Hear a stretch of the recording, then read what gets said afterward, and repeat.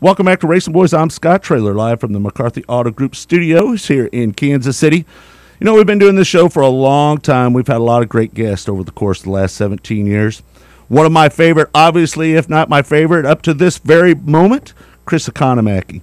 That tells you what kind of company this guy is in. Dave Despain joins us now, the host of the Dave Despain Show. Dave, how you doing, my friend? I'm I'm honored already to be included in the same sentence as Chris Economaki, who is my hero, my mentor, and one of my all-time favorite people.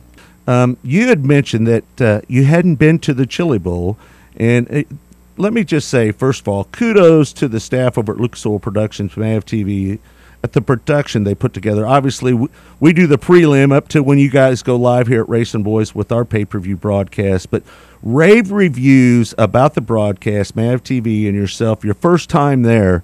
Your thoughts of the Chili Bowl Nationals first experience? The building, obviously, is the first thing you notice. It's just dazzling in its size.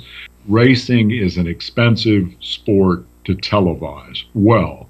Um, and I say this not to blow smoke back at you, but I thought you guys did an excellent job at the Chili Bowl of give me what I want. You know, I, I'm sure there's no budget for 16 cameras, including nine onboards, but give me what I want. Give me the basics. Give me the you know, give me the meat of it, and that's exactly what the pay-per-view customer got for his or her whatever it was, ninety-nine dollars, yeah.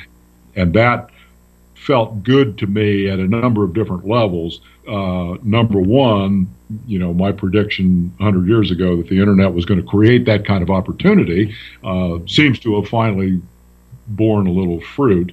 Um, but by the same token, part of my mind is saying, you know, if you look at what those guys did Monday through Saturday, whatever time we took over, and you look at what Mav did in the time that we did, and you look at what it cost to make it happen, the difference is breathtaking. Oh, no doubt. And so, so the problem is how do you make the economic model work to put a lot of grassroots racing on television as we've traditionally known it? Mm-hmm. That's a tough one. That's a very tough one.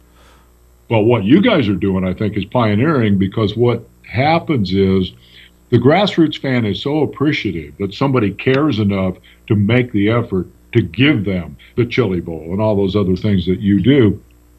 They're going to they're going to they're going to support it. They're going to watch it or listen to it. They're going to appreciate it. And it's going to do what we want, which is maintain and build their interest and capture new people and, and all the rest of that. Thanks very much, Scott. I appreciate it. Uh, it's it's a great project. I'm very excited about it. I hope people will enjoy it as much as I've enjoyed sure. doing it. You guys keep up the good work. I appreciate this opportunity. All right, Dave. Thanks again. That's Dave Despain, again, the host of the Dave Despain Show. You can watch it here in the Midwest starting at 7 o'clock Central Time. We'll be back with more in a moment. Stay tuned.